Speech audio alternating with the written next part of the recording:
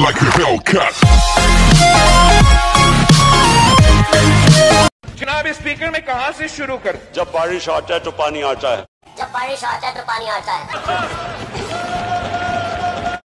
बिलावल जरदारी का इसने कोई एक ऐसा आपको नहीं पता इसने काम क्या किया दुनिया के साइंसदान घबरा गए हैं जो बिलावल जरदारी एक थ्योरी लेके आया है।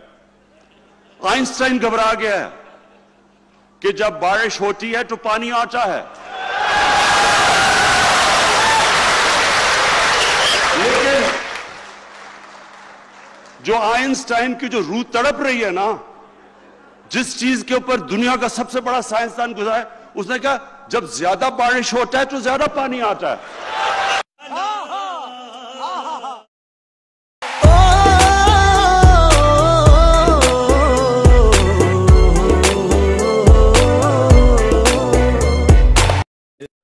साहब को बताया कि मैंने एक पेंट हाउस फ्लैट लिया है मियाँ साहब ने कहा पेंट हाउस क्या होता है मैंने कहा वो सबसे ऊपर वाला होता है वो मुझे ये क्वेश्चन क्यों याद है क्योंकि मियाँ साहब ने आगे से कहा कि अगर आंधी आई और वो फ्लैट उड़ गया तो क्या करोगे न अभी तक मुझे उसका जवाब नहीं है. It's the one and only Digo Double G. Snoop Dogg. Da da da da da. जरा प्रोग्राम दिखाएँ लोगों को पता चले कि इनका लीडर अच्छा कौन है। कोशिश करते हैं जी हम नहीं आप कोशिश जी। नहीं आपने प्ले करना। अच्छा, क्योंकि इसमें ये जो घटिया बातें ये लोगों के सामने मैगजीन लाके दिखा रहा है। आप कि जी मैगजीन मैगजीन छोड़े। और जवाब मैं आप क्यों आपको आप शर्म नहीं आती। यानी आप इतने तो घटिया आदमी हैं कि अपने आप को बचाने के लिए गंद उछाल रहे हैं किसी के ऊपर। एक कातिल एक ट्रेटर एक इस मुल्क जनरल मुशर्रफ गुस्सा इस बात की मुझे ये वजाहत कर रहा है बताइए कि बच्ची इनकी है जनरल मुशर्रफ ने खुद कहा था कि अल्ताफ हुसैन इस मुल्क का ट्रेटर है और वो ट्रेटर साबित होता है आपके प्रो कहता है अल्ताफ हुसैन को इमरान भाई आप आप कहा और अल्ताफ हुसैन कहा। मैंने कहा, मैं बिल्कुल ठीक कह रहा हो। मैं तो आज तक कोई कत्ल नहीं किया, उसने दो सौ चौंतीस कत्ल किए हुए अब इन्होंने समझ ना आया उसको टीवी पे कि मुझे क्या कहे। मैं दो सौ चौंतीस कत्ल किया, वो मेरे ऊपर क्या कहे? तो मुझे कहता, आपका तो वो सीटा वाइट का, आपके ऊपर तो वो केस है वो। और तस्वीर दिखा दीजिए, लड़की की शक्ल आपसे मिलती है। अब वो टीवी पे बैठा था। टीवी पे बैठा हुआ है। अब मैं इसको क्या जवाब देता मैं क्या बाबर गौरी मैं अफ्रीका में चला जाऊँ सौ बच्चे तुम्हारी शक्ल के दिखा दूँ.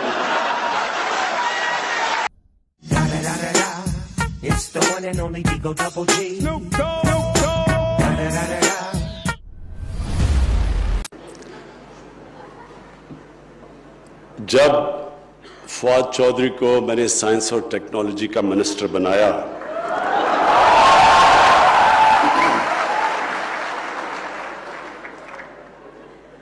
तो बड़ी लोगों ने जो फवाद चौधरी की टीवी पे परफॉर्मेंस देखी हुई है बड़ी स्केप्टिसिज्म थी। लोग कहते जी आप साइंस और टेक्नोलॉजी को सीरियसली ले, रहे हैं। फवाद चौधरी को आपने बना दिया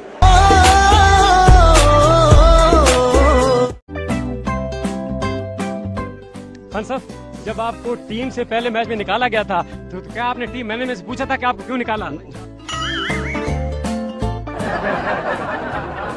नहीं मुझे पता था क्यों निकाला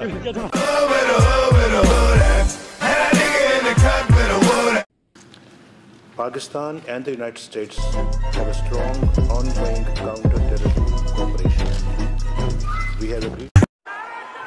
अच्छा अब क्या चाहते हैं मैं डोनाल्ड ट्रंप से क्या कल बातें करूँ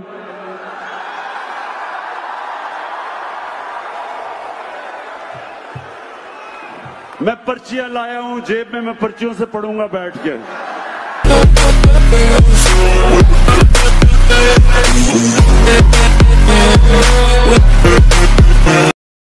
जब मैंने नवाज़ शरीफ को जहाज़ पे चढ़ते देखा तो मैंने वो डॉक्टर्स की रिपोर्ट अपने सामने रख ली। अब मैंने जब डॉक्टर की रिपोर्ट अपने सामने थी तो उसमें तो कहा था कि मरीज़ का इतना बुरा हाल है कि किसी वक्त मर सकता है। अपने कुछ बीमारियाँ, पंद्रह तो बीमारियाँ बता दी हार्ट भी बुरा है, किडनी भी बुरी है, डायबिटीज़ भी है पता नहीं और भी क्या है, और फिर प्लेटलेट्स, ये भी हमने नई चीज़ सीखी थी, प्लेटलेट्स। प्लेटलेट्स भी बुरे हैं। तो हमें तो ये बताया गया था कि इसका तो इलाज पाकिस्तान हो ही नहीं सकता। तो अब मैं ये सोच रहा हूँ कि क्या वो जहाज़ देख के मरीज़ एकदम ठीक हो गया? या वो लंदन की हवा लगी तो ठीक हो गया? मुझे अभी तक पता नहीं है। इसकी तहकीक तहकीकात करने की ज़रूरत है। फिर से गौर से देखूँ।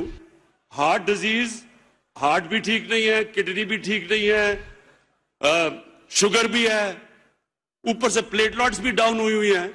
और मैं देख रहा हूँ कि वो ऐसे सीढ़ियाँ मैंने कहा अल्लाह तेरी बड़ी शान है। और वो जो जहाज़ था शायद जहाज़ देख के भी इंसान ठीक हो गया वो ऐसा ज़बरदस्त जहाज़ था आम आदमी दुनिया से जाते।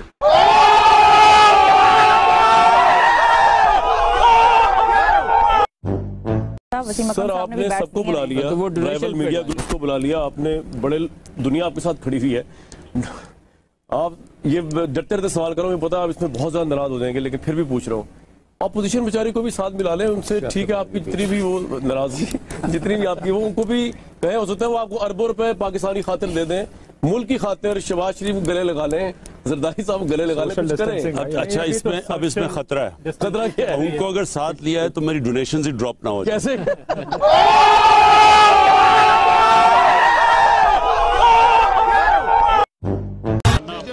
कैसे हाँ शोहाना।